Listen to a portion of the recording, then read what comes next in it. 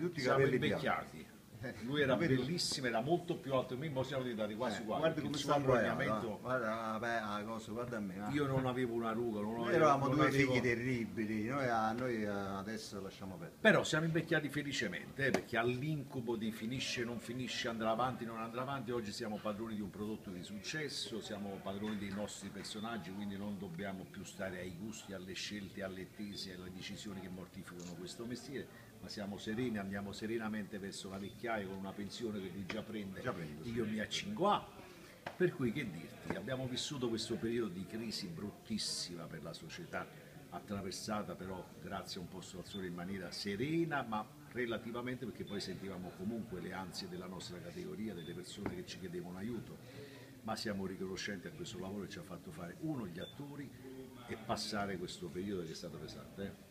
È stato pesante, comunque quello che dicevo prima nelle interviste è che quello che a me personalmente, a Patrizio poi figurati, ama questa città come, come- come una, seconda, proprio una, una seconda mamma si può dire, quello che a noi ha fatto tanto piacere è che questi 20 anni abbiano distribuito tanto di quel lavoro, tanta di quell'occupazione, abbiamo creato tanto indotto per la città che io penso che un po' Napoli eh, ce lo deve. Ecco, noi Tutta la spesso- categoria che ha patito in questi anni, sai, ha trovato qui un'isola felice per quei attori che non lavoravano, col teatro che veramente vive un momento che non ha neanche più il contratto nazionale, non girano le tournée, durano un mese, tre mesi, massimo, quindi qua hanno avuto modo di lavorare. Sceneggiatori che sognavano di fare un film che forse non avranno mai fatto, No, ma lo hanno insomma, fatto. Tutte le categorie, tu- da- È stato un riferimento per tutti. Quello che veramente a noi ci fa piacere, a parte eh, diciamo, di di esserci fatti compagnia insieme naturalmente agli altri amici per 20 anni, noi abbiamo il camerino vicini e Patrizio, diamo questo sguardo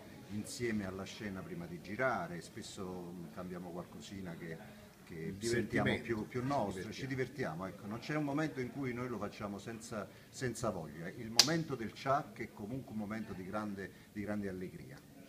Leggenda vuole tra l'altro che un po' Stazzone all'inizio si paventasse la chiusura e poi invece Per tutto due, è... tre anni è durato questo, ma si fa, non si fa, si fa. non si fa. Vabbè, ma Quindi quello più che altro quando era il momento che diciamo volevano portare un po' tutto, volevano chiudere un po' il centro di Napoli per dare spazio diciamo più a nord, poi fortunatamente questa idea è rientrata perché No, credo che la gente se avessimo chiuso un posto al sole la gente si sarebbe proprio incazzata come, come non mai. Noi abbiamo spettatori che cioè, ci guardano dal in Vietnam, tutto il in mondo. Noi Quindi portiamo è- mezz'ora d'Italia nel mondo. È un po' difficile insomma.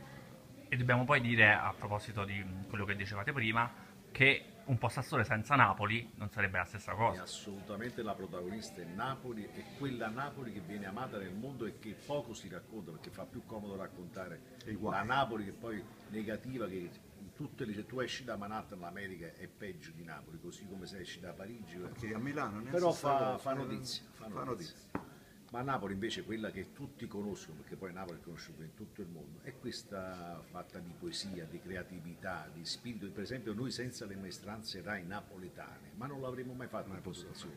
Mica stanno lì a guardare il cartellino, l'orario, la cosa, gli chiedi una cosa e ti fa sempre quella più qualcosa in più che non trovi nel resto del mondo. In questi vent'anni un po' Stazzone è un grande successo, una fascia difficile, ma vi siete mai sen- vi siete sentiti valorizzati dalla RAI? Cioè nel senso, io vi vedo poco in giro, non so, nei programmi, cioè non vi vedo a che tempo che fa, non vi vedo, non lo so, se ne parla poco rispetto poi a quello che è stato e quello che è. Eh sì, noi sinceramente, non tanto personalmente perché io non è che voglio dire me ne frega assai, però diciamo che un po' più di attenzione da parte della RAI eh, ci, ci vorrebbe. Per quanto riguarda quello che hai detto tu da Fazio, naturalmente lui è padrone e decide, probabilmente non, non- non crede che noi possiamo Vedi, c'è- essere funzionali diciamo, C'è una grande programma. snobberia. Però noi di ritenerci un valore aggiunto, perché voglio sapere quale attore ha recitato quando abbiamo recitato io e lui qua dentro, i nostri ragazzi che hanno cominciato e hanno un mestiere che pochi altri attori avranno nella carriera. Invece di considerarci dei valori aggiunti, un vivaio e quindi prendere da noi come hanno preso nel resto del mondo, perché tu metti tutte le star americane, buona parte viene dalle soap, dalle serie televisive, eccetera, perché sono intelligenti. Qua ci pensano sempre, quando pure ti offrono una cosa, a farci fare quello che già facciamo qua. Cioè mi chiamano a fare il portiere o il poverone. cioè. Perché questo è un problema della categoria. Non si chiama l'attore in quanto talento a disegnare un personaggio nuovo, a inventarlo, ma si chiede se stai vestito col giubbotto ti fanno fare il motociclista, tiri il frac, fai solamente il... no, eh, non faccio un film sul San Carlo, continua a fare un frac. Non si pensa che io posso chiamare lui, voglio fare un nano con i capelli biondi chiamo lui, ma perché io credo nel suo talento e nella sua arte, che devi creare con me una cosa.